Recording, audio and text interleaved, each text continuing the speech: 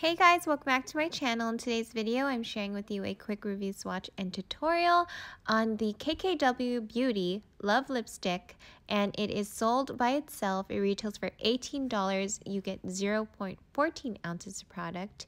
It comes in this matte clear packaging, super chic, definitely Kim Kardashian-like and you wouldn't expect different, but here is the product. You just open it up and here is the swatch of love. It is described as a peachy pink nude, definitely a Kim Kardashian signature shade. Um, this formula is so creamy, in my opinion. I have dried to normal lips, so it's super comfortable and easily pigmented. So when you swatch it, you don't have to press that hard.